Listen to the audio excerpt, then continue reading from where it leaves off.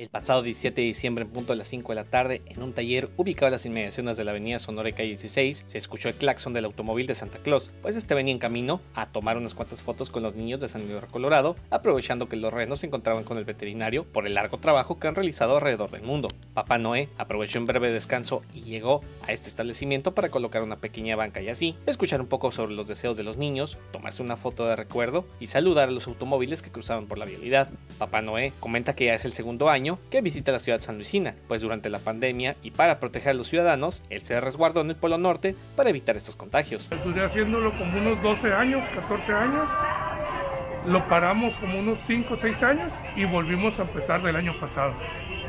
Volvimos a hacerlo. Tratamos de hacer, esto que hacemos nosotros es sin fines de lucro, ¿sí? No es eh, mi compañero de aquí, de, de este negocio, nos juntamos y cooperamos para lograr llevar un poquito de alegría a los niños y dar un poco de lo que Dios nos ha dado. Menciona que durante su estadía en San Luis Colorado acudió a algunos albergues y con la cooperación de sus compañeros de taller local pudieron brindar obsequios a unas cuantas personas de la tercera edad. No obstante, la Navidad no es solo regalos, sino que también es una fecha especial para que las familias puedan convivir, conversar, pero sobre todo abrazar el nacimiento del niño Jesús, ya que Papá Noé ha visto como poco a poco la cultura de la Navidad ha estado disminuyendo. Fui al asilo de ancianos, fui al Seguro Social y tratamos de ir a los lugares donde el niño esté un poquito más triste y llevarle un poco de alegría.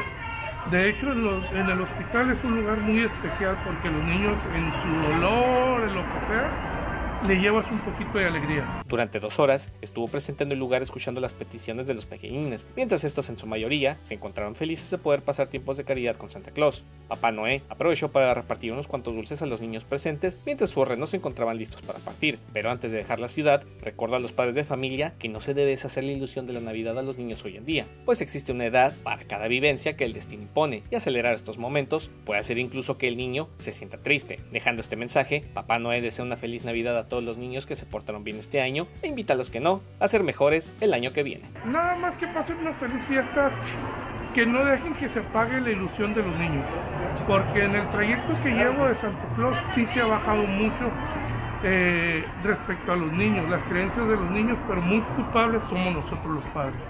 Entonces, un poquito es que no le mate la ilusión al niño, que lo dejen que crezca. Todo tiene su edad, todo tiene su etapa. Entonces la etapa de la niñez no se la paguen. Déjenlo que sigan, que crean Santa Claus, que crean los Reyes Magos, que crean lo que crean. Pero déjenlos que sigan creyendo.